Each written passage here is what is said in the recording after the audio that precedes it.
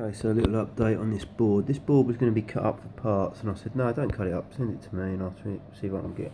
So originally I wanted a socket for, for Agnus, because the socket on the other one's missing a pin about here, half of it, and I don't know why, I'm going to have a look at that in a minute. But anyway, uh, got this. This socket was rotten. Well, the battery has gone all the way through, like I showed you on the board. I thought, I'll have a go at it. Um, resocketed that resocketed that changed it. These are all new just to check. Resocketed. All of them in the end out of frustration.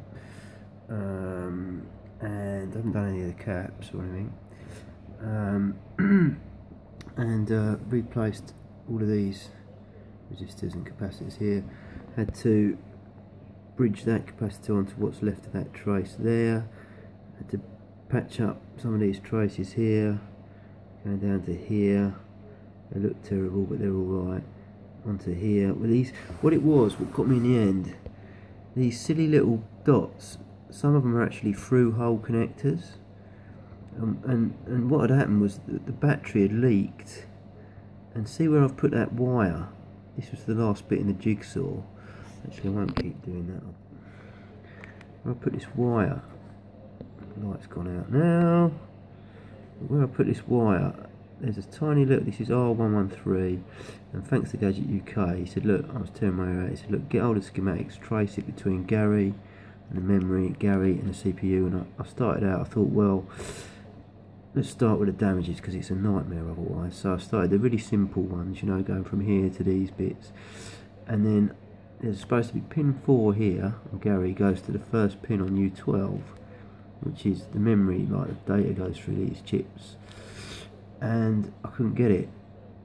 And it goes to here and it wouldn't go from here to here. So I followed it along sorry this one followed it along. See if I can get I don't know why the fucking light's gone out but anyway. Followed it along and basically where that disappears it actually goes through the board and out the other end and it, it's supposed to bridge onto the first pin here. And it was just relying on that solder like a blob of solder going through the board to, to link it and obviously the battery had leaked, sat in that hole, eating it to death and gone all the way through. So that was the last bit in the jigsaw. Um, yeah, I looked at this. I don't know if this. Oh dear. I don't know if this diodes. Um, I'll look at that later, but it's not affecting it. So anyway, it works. It works, and uh, that's another board.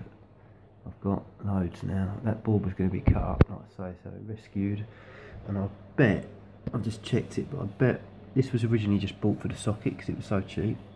But I bet that's what's happened to the other board. And I'm just going to see whether this it's missing like half a pin here on the socket.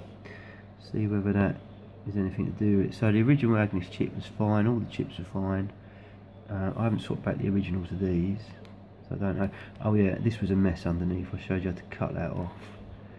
Um, but yeah short video. If you get if you're getting blue screen black and then it goes uh, no signal it's well worth checking that trace and it goes I'm trying to see it goes up to R113 down through the board and it ends up on pin 1 of U12 and it ends up on pin uh, 4 on Gary and it goes through R113 so just watch out for that.